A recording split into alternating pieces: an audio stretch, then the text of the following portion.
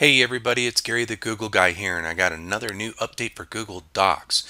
Just like in Google Sheets, you can now see a particular area of who the editors were. So for example, I've got this file and I know I needed to do some updates to it, but I want to see who else has maybe worked with it. So I'm just going to select this one passage. I'm going to right click and I can do Show Editors. And now I'll see that I was the last one to do it today, but maybe who did it before me? Click on Show More, and it will show each individual that's edited this area of the file, and it will show me a date and a timestamp. If I want, I can also zip real quick to the version history right from here.